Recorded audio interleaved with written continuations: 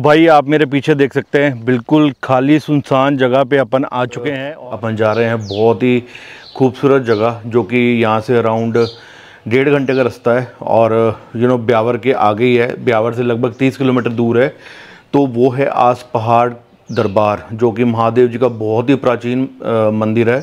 तो बस आज वहीं का सफ़र अपन करने लगे हैं। फिर उसके आगे भी बहुत सारी चीज़ें जो अपन ने कवर करनी है आज। तो बस अभी थोड़ी देर में निकलूँगा, नाश्ता वगैरह करके। तो सुबह के बज चुके हैं सवा नौ। तो फटाफट से खाते पीते नाश्ता करते हैं और फिर अपना सफ़र शुरू करते हैं।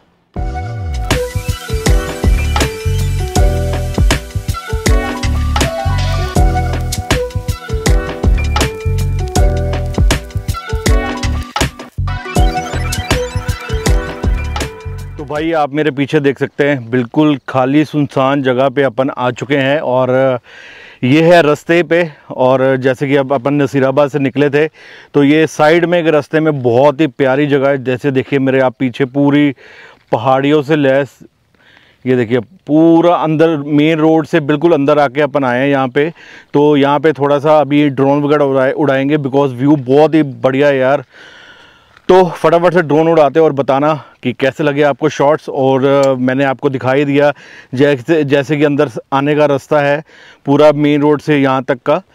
तो होप आपको बढ़िया लगा होगा। बिल्कुल ऑफ़ रोडिंग है, बिल्कुल सुनसान है, कोई भी नहीं है, बहुत ही बढ़िया भाई व्यू है यहाँ पे। तो चलिए फटाफट से ड्रोन उड़ाते हैं, फिर उसके बाद अपनी जर्नी कंटिन्यू करेंगे।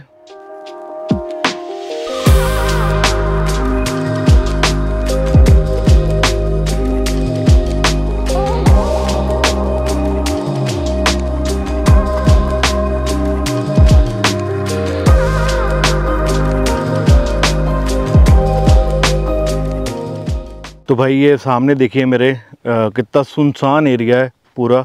और धूप इतनी तेज़ है ना भाई कि हर चीज़ गर्म हो गई, फ़ोन भी गर्म हो गया भाई। और ये देखिए पूरी लंबी पहाड़ी और इस साइड पे अपनी बिल्लो रानी खड़ी है। ये थोड़ी सी छाँव है और जोशी खड़ा है साथ में। तो यहीं पे अपन खड़े थे और ड्रोन वगैरह उड़ा लिया। होप आपको बढ़िया लगा होगा। ये देखिए भाई क्या मस्त रोड है। आप मेरे पीछे देख सकते हैं। और ये बहुत ही बेहतरीन हाईवे बना हुआ है और ये देखिए छोटे छोटे से मंदिर बने हुए हैं, बहुत ही पुराने हैं, बहुत ही बढ़िया बने हुए हैं और इस साइड पे देखिए, बिल्कुल साफ़ पानी का नाला बह रहा है और बहुत ही खूबसूरत व्यू है भाई। तो अब लगभग छः सात किलोमीटर रह गया है, जहाँ पे अपन जा रहे हैं सबसे पहले। तो भाई, अभी जस्ट अपना पहला ब्रेक लिया अपन ने और ब्रेक के लिए रुके थे तो पानी वगैरह, कोल्ड ड्रिंक वगैरह ले लिए बिकॉज़ बहुत ज़्यादा गर्मी हो रही थी भाई इतनी ज़्यादा प्यास लगी थी क्या ही बताऊँ। तो बस यहाँ से पाँच किलोमीटर दूर है तो अपन जस्ट हाईवे पे खड़े हैं। तो हाईवे के अंदर से रास्ता जाता है पूरा, जहाँ पे अपन ने जाना है। तो यहाँ से पूरा पहाड़ी वाला रास्ता है, जहाँ पे अपन अभी जाएँगे। आस पहाड़ दरबार तो वहाँ पे महादेव जी का मंदिर है, वहाँ पे पहुँच के आपको दर्शन कराएँगे। अपन अपने जो रास्ता है, वहाँ पे चल चुके हैं तो मैं अभी आपको दिखाता हूँ। बिल्कुल कच्चा रास्ता है तो आगे जाके पूछा अपन ने अभी कि आगे जाके थोड़ा सही हो जाता है बट थोड़ी टाइम के लिए आपको ऐसा ही रास्ता मिलेगा तो मैं आपको पूरा कैमरा घुमा के दिखाता हूँ कि कैसा रास्ता और कैसे रास्ते पे अपन जा रहे हैं। देखिए, पूरा ऐसा रास्ता है और अभी पता नहीं कितना है, इतना ऐसा रास्ता।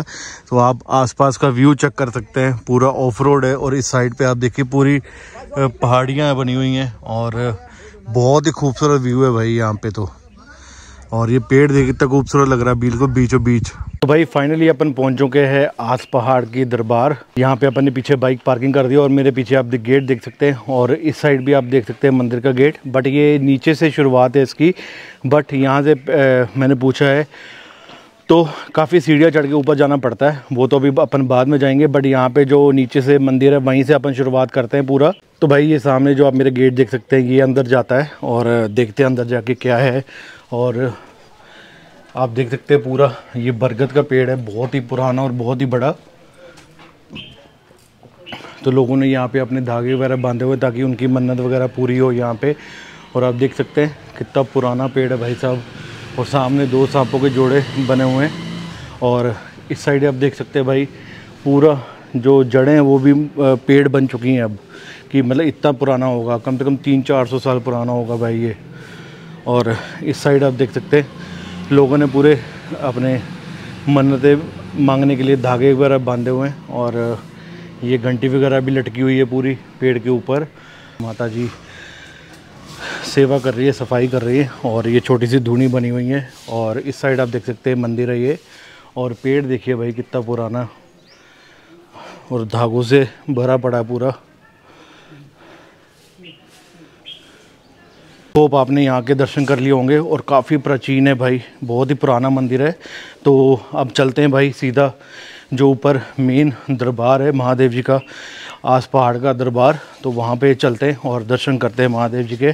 तो भाई, जैसे कि आप मेरे सामने देख सकते हैं, यहाँ पे आप पढ़ सकते हैं, यहाँ पे जो महंत महावीरपुरी जी महाराज, यहाँ पे उनका ये जो आसन है ये, यहाँ पे रहते हैं और इस साइड पे ये जो आप देख सकते हैं, पूरा द्वार है। अंदर तक मैं आपको पूरा दिखाता हूँ। तो यहीं से अपन अभी ऊपर जाएँगे पूरा और ऊपर जो मेन मंदिर है महादेव जी का, वहाँ पे दर्शन करेंगे ऊपर। तो भाई, जैसे कि आप देख सकते हो, यहाँ से अपन अंदर आए थे पूरा।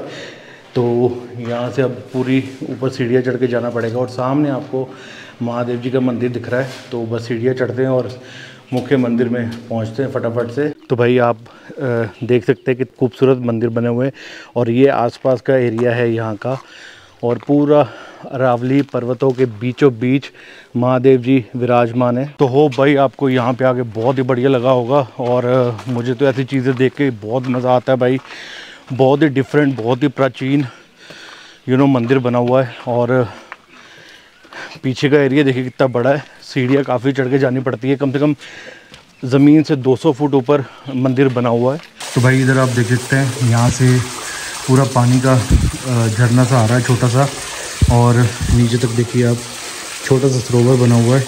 तो भाई फाइनली अपन मंदिर के बिल्कुल पास पहुँच चुके हैं और ये फाइनल सीढ़ियाँ हैं जो कि मंदिर के अंदर जाती हैं। तो भाई यहाँ से व्यू चेक करिए मंदिर का और, ये सामने बहुत ही खूबसूरत महादेव जी का त्रिशूल लगा हुआ है और ये पूरा गाँव है। और अभी मंदिर पहुँच गए ऊपर फाइनली